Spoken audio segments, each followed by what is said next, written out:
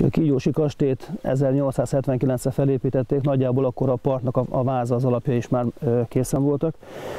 Nyilván azt nem garantálhatjuk, hogy ezek a hóvirágok abból az időből származnak, de az biztos, hogy ezen a területen, ahol most itt vagyunk, itt nem volt kis kertecske, ezt nem kapálta senki, mégis az öreg tőagyeknek a tövéről jönnek fel ezek a hóvirágok. Az én véleményem szerint ezek itt évszázados tövek. Évszázados hóvirágtövek találhatóak a Szabadhígyúsi kastélypark területén, állapította meg Boldog Gusztáv, a Körösmaros Nemzeti Park igazgatóságának természetvédelmi őrkerület vezetője. Február vége, március eleje az az időszak, amikor megjelennek a tavasz első hírnökei, vagyis a hóvirágok. Ezt a növényt mindenki azért várja, mert ez annak a jele, hogy ilyenkor megújul a természet. A kehely belsőben érdemes megfigyelni a zöldeknek és a sárgáknak az arányát.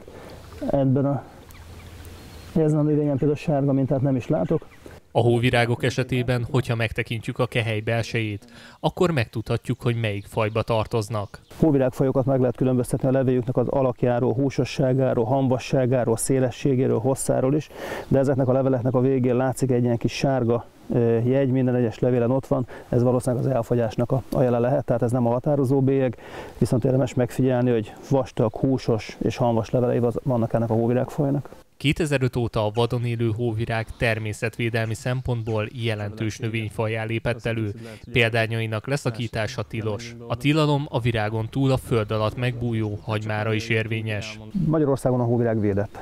Van egy ugye, a kikeleti hóvirág névre hallgató faj, amelyek elsősorban Nyugat-Magyarországon, Észak-Magyarországon őshonos, nagy állományokat alkot, és ezt a növényt mindenféleképpen ott a helyszínen, ahol ő él, meg kell védeni. A virággyűjtőktől meg kell kímélni ezeket a növényeket, de van még további közel 20 olyan más faj, vagy kertészeti változat, ami a Kárpát-medencén vagy kívülről betelepített, dísznövényként betelepített más faj, vagy pedig ezeknek a, a hibridjei keresztezéseiből kialakult fajták.